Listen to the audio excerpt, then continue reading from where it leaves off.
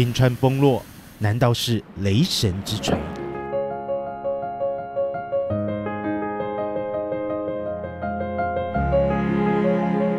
这是 c a f e o r a 夏天的样子，积雪消融，露出大片褐土。在两亿五千万年前，从二叠纪在三叠纪的交界过程中，曾经发生跟类似现在非常相相近的气候暖化的现象。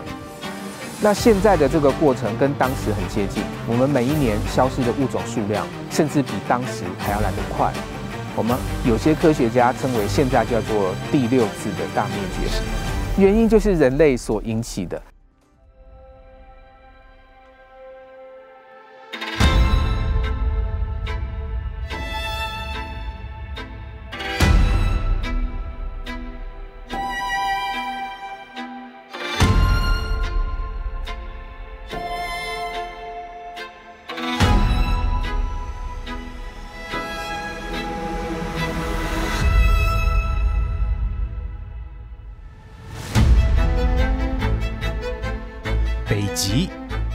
神话里众神的国度。当我们逐渐靠近冰川，轰隆隆的声响让人产生错觉，像是天上的雷声大作。神话中，这里也是雷神索尔的故乡。哇！冰川崩落，难道是雷神之锤？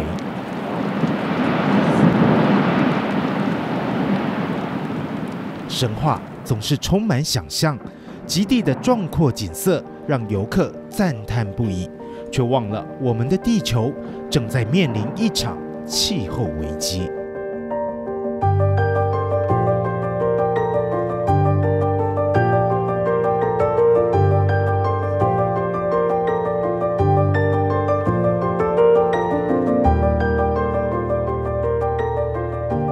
北极圈。被强国包围，加拿大、美国、俄罗斯和北欧各国为了探究气候变迁，为人类找出调试和减缓的解方，来自全球的科学家们投入极地研究。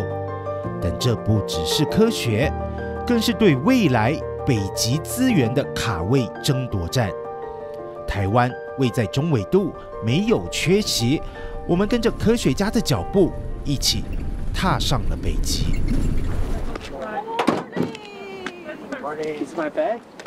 这一个礼拜的补给啊，车站的用电。我们现在从 Svaba 出发，跟着台湾来的科学家们，准备一起进到北极的科学研究站，进行冰川地形的研究。而这也是台湾在整个极地研究上非常重要的一环。我们现在从这里出发，全程大概是四个小时左右。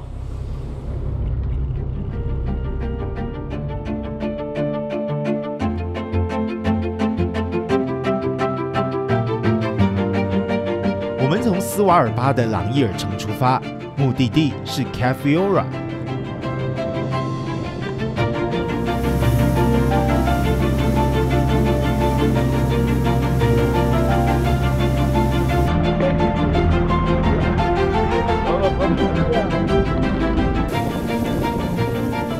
科学站这个地方并没有港口，因此我们可以看到快艇到科学站这附近之后，需在外海一点点的地方停泊，然后再用小艇来接驳，因此这个过程是非常辛苦的。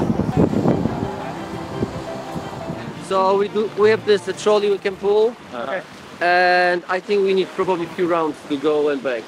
It's a little walk, so just we can start walking.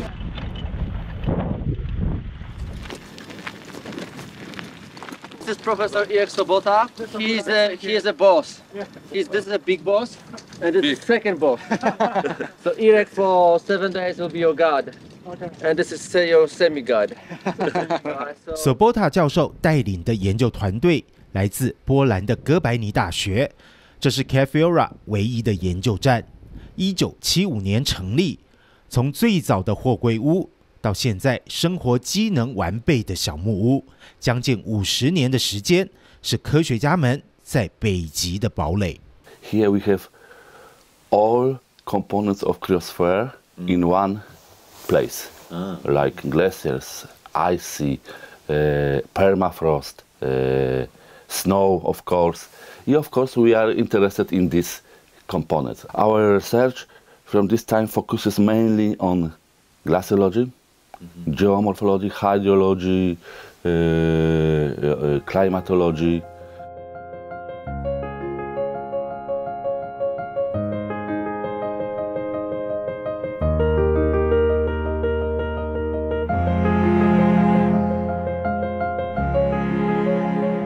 这是 Cafiora 夏天的样子，积雪消融，露出大片褐土，冰川还在，有大有小。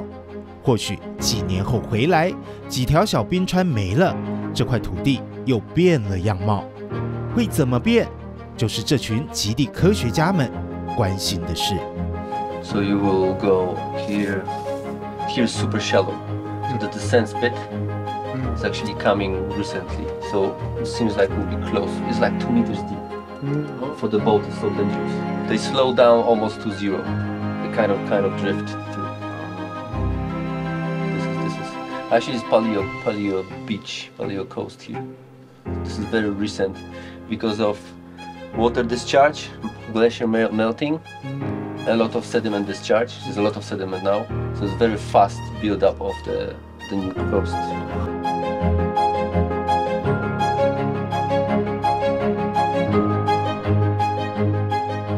台湾中央大学的地球科学家们从二零二零年开始进驻 Cafiora， 是透过波兰籍的台湾极地研究站主任 Jack 张文和为双方建立起合作关系。 So let's go around and I'll show you the what is what. All our food inside, and I mean basically, if you are hungry, you can come and you can come and pick the stuff. This is our tooth brushing area. So we our brush teeth here basically. So I don't know why, but it's like a custom.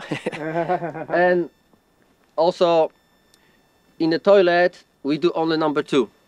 Number one, we go outside.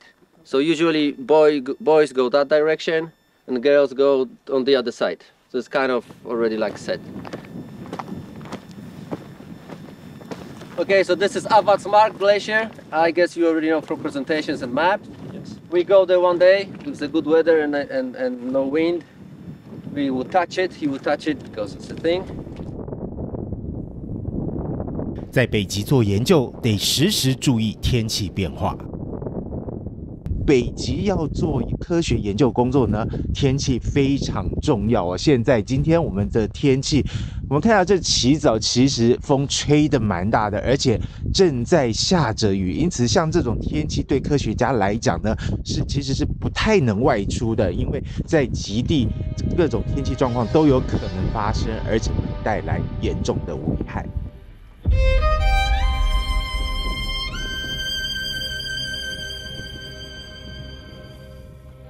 从台湾到 Cafiora 超过七千公里的距离，科学家们虽然不想白跑一趟，也只能顺应环境而为。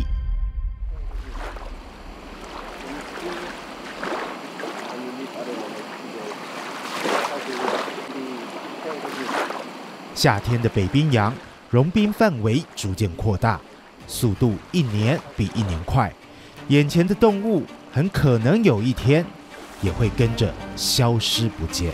大约在两亿五千万年前发生的大灭绝的事件。大灭绝指的是生物物种百分之七十五以上的消失。在我们看不到的海洋底部，有个热盐环流，绕着地球循环流动。北冰洋的冰层厚，温度低，海水密度高，能够驱动热盐环流，将表层的氧气带进深海，提供海底生物所需。但是，当北冰洋的冰层溶解，导致海水密度降低，让热盐环流的驱动力减弱，甚至停止。深海里的生物失去环流带进的氧气，可能大量死亡。而生物死亡后，细菌分解尸体，消耗大量氧气，或是没有被分解的尸体发生厌氧作用，产生有毒的硫化氢。不管是留在海底，或是跑进大气，都会影响更多生物。这就是科学家们担心的大灭绝。在两亿五千万年前，从二叠纪在三叠纪的交界过程中，曾经发生跟类似现在非常相相近的气候暖化的现象。那现在的这个过程跟当时很接近，我们每一年消失的物种数量，甚至比当时还要来得快。我们有些科学家称为现在叫做第六次的大灭绝，原因就是人类所引起的。pressure. Heat is just trapped under this, what we call a heat dome across the 600 storms were reported Nearly 50 people were arsonist. One point, more than 1 million people across around 25 times the volume of water that flows in the Mississippi. 地球慢慢枯竭，大自然的循环遭到破坏，对人类影响最大的就是气候变迁，在极地尤其明显。就是我们在讲气候变迁。有一个，我们都会讲说，我们世界的平均大气温度、平均海洋表面温度是如何的上升。这个平均值是从很多的每一天、每个小时的资料，在不同位置累积去平均而得到。随着平均值的上升，其实这个变异的程度也会增大。变异的程度就是最高温跟最低温的差距，可能会随着气候变迁的发生。它的这个变异性会增大，变异性的增大就意味着极端的事件，旱、涝、热、寒这种极端事件发生的几率会越来越多。